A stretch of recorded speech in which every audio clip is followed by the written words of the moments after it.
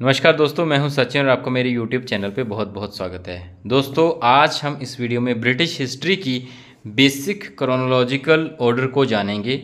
ये chronological order N T A NET में बार बार पूछा जाता है और एन टी ए नेट के परस्पेक्टिव से ये बहुत ही इंपॉर्टेंट है। इवन अगर आप एमए इंग्लिश कर रहे हैं तो भी आपके लिए बेसिक क्रोनोलॉजिकल ऑर्डर की ब्रिटिश हिस्ट्री की हिस्ट्री ऑफ़ इंग्लिश लिटरेचर की बेसिक क्रोनोलॉजी आपको याद होनी चाहिए। ये आपका गेट में हेल्प कर सकता है, कर सकता है यूजीसी नेट की प्रिपरेशन में हेल्प कर सकता है और साथ ही साथ अगर आप पीजीटी टीजीटी कोई भी इंग्लिश से रिलेटेड अगर कोई भी आप एग्ज़ाम देना चाह रहे हैं इंग्लिश लिटरेचर से रिलेटेड स्पेशली तो ये क्रोनोलॉजी आपको पता होनी चाहिए। अब अलग अलग बुक में अलग अलग तरीके से ये क्रोनोलॉजी दर्शाई गई है, लेकिन हमने अपने तरीके से इस क्रोनोलॉजी को काफ़ी सारी हिस्ट्री बुक्स को एनालाइज करने के बाद हमने इस क्रोनोलॉजी को तैयार करा है। तो आई थिंक ये वीडियो आपके लिए हेल्पफुल रहेगी। छोटी सी वीडियो है, अच्छी लगे तो लाइक शेयर कमेंट कर दीजिएगा। चैनल को सब्सक्राइब कर दीजिएगा, क्योंकि इसी तरह की वीडियोज़ आपको हमारे चैनल पर रेगुलर बेसिस पे मिलती रहती हैं। हैं तो चलिए दोस्तों, समय ना वेस्ट करते हुए सीधा वीडियो की शुरुआत करते हैं। तो दोस्तों, यहाँ से आप देख सकते हैं British history basic chronological order first of all we have the Anglo Saxon age started in 1650 and it ended in 1066 next we have the Anglo Norman age which started in 1066 and ended in 1340 thousand next we have the age of Chaucer which started in 1340 and ended in 1400 and fourth one we have the age of darkness also known as barren age also known as early renaissance it also known as the age of revival or the revival of learning which started in the year of 1400 and ended in the year of 1550 next we have the age of elizabeth which is also known as the golden age of english literature.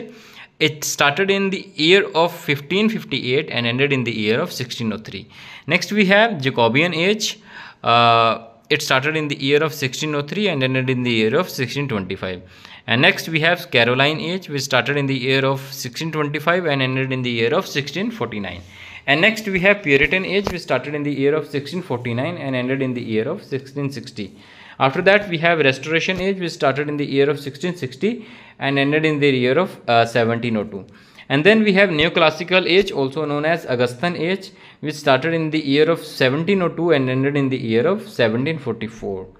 And next we have pre-romantic age, which started in the year of 1745 and ended in the year of uh, 1798. Now, दोस्तों, you need to remember that uh, the neoclassical age or the pre-romantic age, sometimes it is considered as the 18th century age, which started in the year of 1702 and ended in the year of 1798.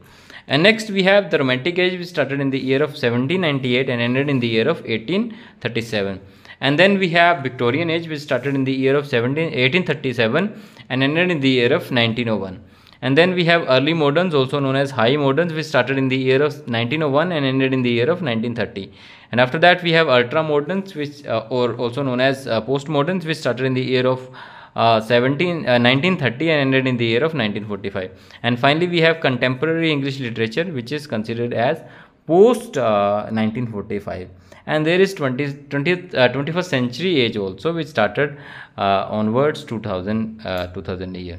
So these are all uh, the basic uh, history uh, or chronological order of uh, the ages of English literature and I hope uh, you have gained some knowledge and I hope it, it will be helpful for you in UGC NET and any exam related to English literature.